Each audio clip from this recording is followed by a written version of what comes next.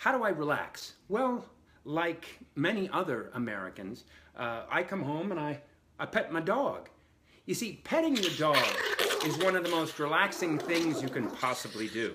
It releases a hormone called oxytocin, which reduces stress. Also, it lowers your heart rate and it lowers your blood pressure. Plus, people who pet their dogs are five times more likely to live longer than people who just have cats.